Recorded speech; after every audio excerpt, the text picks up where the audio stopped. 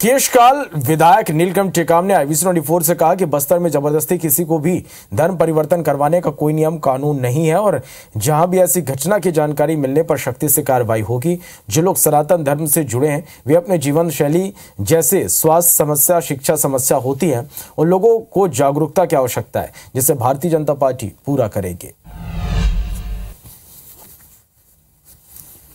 आज हमारे साथ केशकाल विधानसभा के विधायक नीलकंठ टेकाम जी है। इनसे जानते हैं कि जो जनता के बीच में जाकर जो वादा किए थे, किस प्रकार से पूरा करेंगे, क्या है हम लोग जब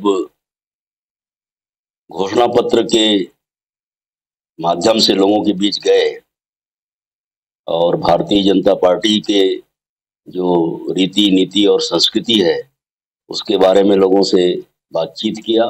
पिछले दस सालों से कांग्रेस के विधायक माननी संतराम नेताम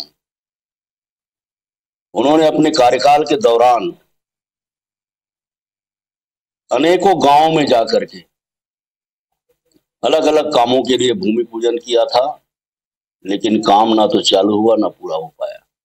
तो उन सारे बातों को ध्यान में रखते हुए हमने हमारे स्थानीय स्तर पर, विधानसभा स्तर पर एक घोषणा पत्र भी तैयार किया है।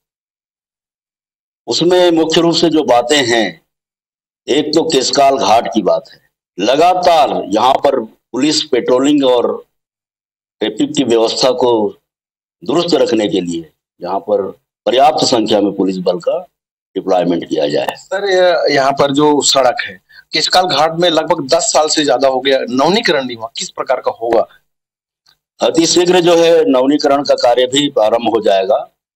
पंद्रह करोड़ रुपए की राशि ऑलरेडी स्वीकृत है और वो टेंडर प्रोसेस में है।